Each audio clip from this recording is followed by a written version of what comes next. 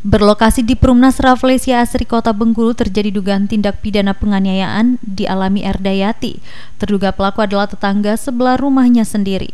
Peristiwa itu bermula dari korban yang mempertanyakan kepada terlapor mengenai sampah di siring depan rumah korban.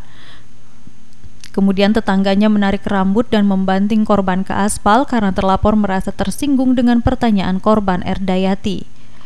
Warga sekitar tempat kejadian membenarkan adanya perselisihan antara korban dan terlapor yang rumahnya bersebelahan itu.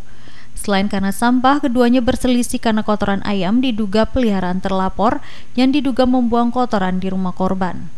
Perkara ini sudah dilaporkan korban ke Polsek Selebar. Menanggapi hal itu, Kapolsek Selebar Kompol Hasanul Bakri menghimbau masyarakat hendaknya lebih menahan diri supaya tidak terjadi selisih paham khususnya dengan tetangga atau lingkungan sekitar. Kalau untuk kasus penganiayaan, untuk beberapa bulan terakhir memang agak menurun yang pada umumnya terjadi karena keselisihan paham daripada pelaku dan baik untuk mengantisipasi tidak terjadinya penganiayaan eh, masing-masing agar bisa menahan diri untuk tidak terpancing emosi yang berakibat daripada terjadi perkara penganiayaan.